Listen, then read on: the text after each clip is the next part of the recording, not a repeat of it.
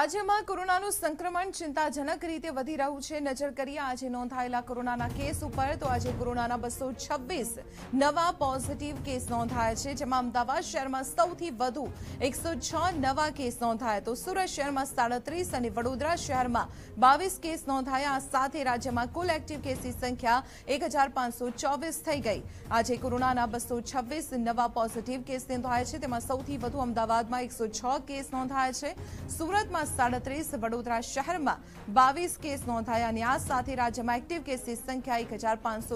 થઈ ગઈ